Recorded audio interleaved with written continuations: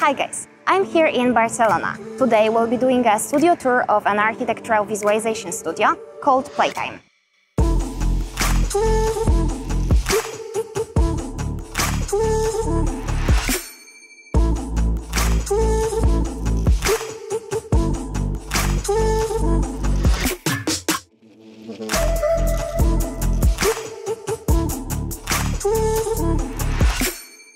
Big thanks to Autodesk for sponsoring this video. Without them, it won't be possible for us to visit Playtime and show you guys the RV studio from the inside. We can learn so much from these talks and actually experience the atmosphere, working style and culture of the studio. And this is definitely not the same as just online talking through the camera. With that being said, let's start our visit. Uh, Playtime Group uh, is uh, formed by a couple of brands. Playtime Group is divided into two businesses, Playtime and B-side. At the moment, the whole structure is made up of a team of 90 3D artists and 4 partners. Most members of the two teams are architects, many are self-taught in the field of visualization, and others have been trained through specific courses in RVs. In Playtime, we are more focused in architectural competitions, in big projects and, and public projects. And in B-side uh, visuals, uh, we, we mainly do uh, projects for real estate and interior uh, designers. So more focused on details and this kind of stuff. Okay, so can you tell us a little bit how you started? Yes, I mean, as you know, uh, we are uh, Aleix Me architects, and we, we know each other when we were sharing a, a co-working our own offices uh, as, as, as, architects, and then uh, it was around uh, 2008 when the big crisis started uh, we lost all our projects and then we we started to do images. I mean it was uh, a good uh, good point for that because uh, most of uh, the offices here in barcelona lost a lot of projects and they started to do competitions and they need uh, somebody to do the images. And at that time we also did a lot of competitions and Aleix and me were the ones that mainly did the images for our project. So we just uh, put a new website with all the images that we did for ourselves. And that was the, the starting of all this, yeah. I'm sure you're curious about what software they use in the office. All the software we use is quite standard in our industry. We mainly work with uh, 3ds Max uh, and we use Corona as our render engine. Like most artists, they chose Corona at the time when Lightmix was not available in V-Ray yet. What about the plugins? As plugins for uh, 3ds Max, uh, we highly recommend Pulze Scene Manager, and of course uh, Forest Pack and RailClone from iToo, which are really a must for us. We also use uh, Connecter to manage our library, which works really well if you are capable of being organized, of course. Anyway, uh, nowadays most software can achieve really good results and the differences among arch viz uh, companies do not rely on that. they rely on the people behind. When you are starting, you are always trying to know what software your idols use, but then you realize that that is not the point. One of the most common questions we get on the channel is about PC configuration. So, can you tell us a bit more about yours? Uh, most of them workstations with people working with them and some just uh, for use as render farm or secondary things like managing licenses and the render queue. Do you use any other hardware like tablets, for example? Yes, we use tablets for the post-production works, uh, but not uh, many of us. Some people in the office still prefer to use the mouse. And the tablets we have he uh, here are also of different kinds. Some are the ones that uh, are also a monitor, and at the same time others uh, that not. It is up to the one who is using it. Apart from that, all the computers have a couple of 24-inch uh, monitors, and there is even a guy here who uses a kind of 3D mouse that allows you to move in the viewport in a different way, but uh, this is just a special case. From the business side, the Playtime Group has a very horizontal structure. There are partners and 3D artists without any middle points, no project leaders, etc. What is really interesting about their approach is that instead of growing Playtime company, they decided to create another one linearly called the B-side. They all work together in one office, but each person is assigned to a specific brand. You may wonder why that is. They really emphasize human relationships and the thing of being part of something together. They found out that to achieve this, the limit of people for them is 12 artists. Otherwise, they lose control. The group is just too big for them. So instead of hiring people for playtime, they made one of the workers the partner of another company. It was like replicating the model in parallel rather than just growing. I like the idea of a friendly atmosphere in the office, so I talk with Joseph a bit more about their approach. Can you tell us a bit about uh, work culture here? Yeah, of course. Uh, so we, we've always thought about our well-being at work because we spend a lot of hours together. So the most important thing is everyday life. That's why when we incorporate a new member to the team, the first thing we look for is a personal feeling and a positive attitude. We have never looked for individual stars, but for people who are eager to learn and turn to pass on their knowledge so that the whole team can There's uh, not one artist, but the whole team. We all love what we do, but at the same time, we all need to have a personal life. I've seen on Instagram that you organize some trips from the office. Can you tell us a bit more yeah, about it? Um, I mean, it's not for ourselves. Uh, the day-to-day -day work in the office is very demanding.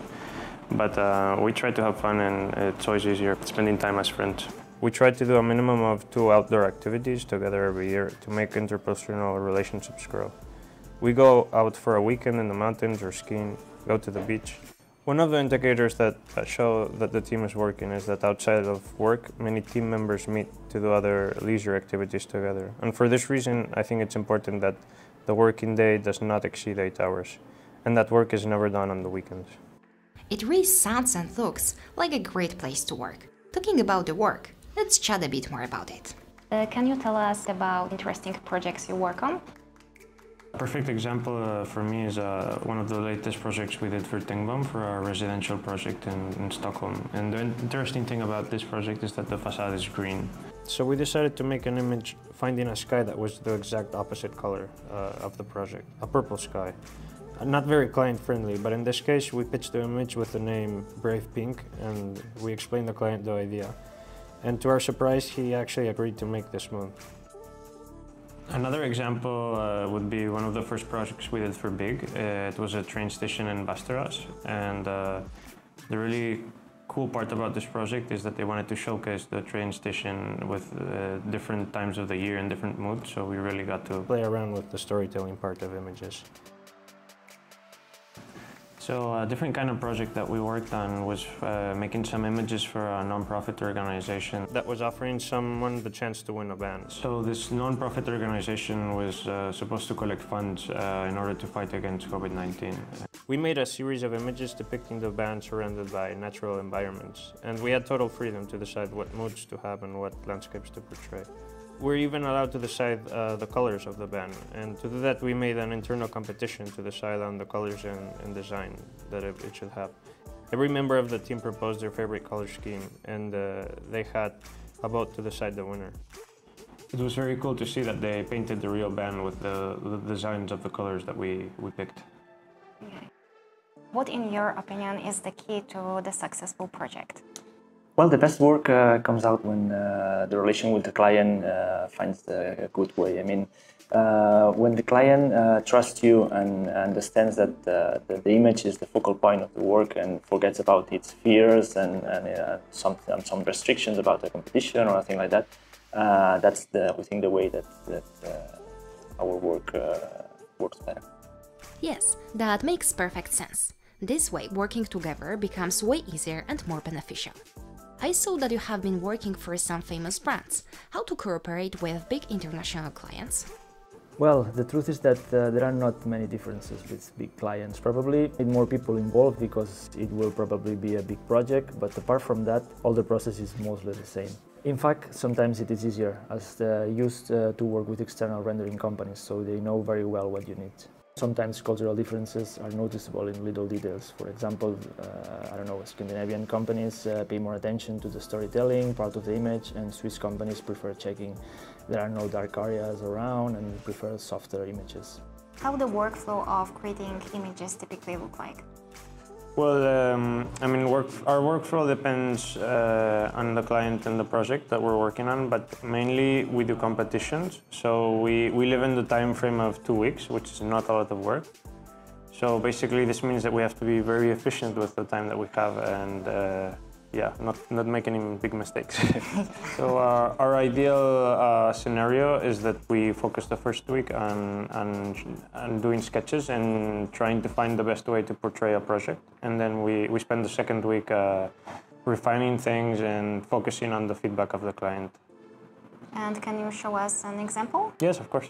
This is the raw render where everything starts. We then worked on the surrounding buildings to try and have an overall composition of volumes. This was done not just with a photo but with multiple pieces of photos because we didn't have the right one following this point of view. After that we tried to find a good sky that fits the mood. And then we composed the rest, mainly trees, that frame the focus on the building. The next step was uh, focusing on the foreground, which we always tried to work with fragments of code photographs. And finally we incorporate the people trying to explain a story.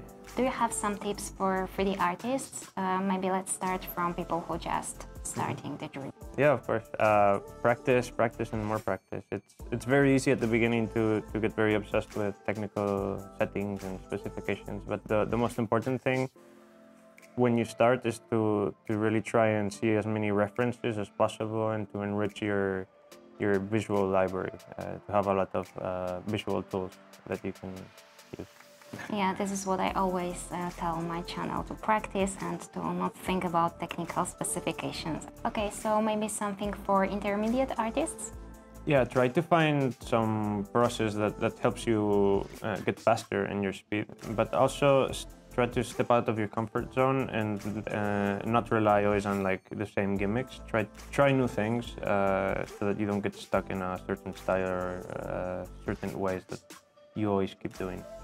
Okay, so now finally, uh, what tips for advanced 3D artists? Uh, I would say the most important thing is, is to find uh, things outside of your job that motivate you and complement your work because it's easy to get burnt out after many years uh, working in the same thing. So I would say that and try to always uh, have something that you're proud of from a project and, and, that you can get something out of each project, even though it's uh, even though it's like a simple project or something that you've done many, many times, you can always find new ways uh, of doing things uh, and new ways to explore the, each project. Yeah, definitely. Yeah. These are the tips that 3D artists should take to their hearts. Now, you mentioned that you have a little gift for our viewers. It is a PSD file for testing the images. I put the link to this file in the corner and in the description below the video. Anyway, Joseph, can you explain to us how to use this? Here's a PSD file with some layers we use to check three important aspects of, of an image, uh, value, saturation and color. It's re a really useful tool not only for checking that everything in the image is well integrated. For example, that the hue and saturation of the vegetation is right.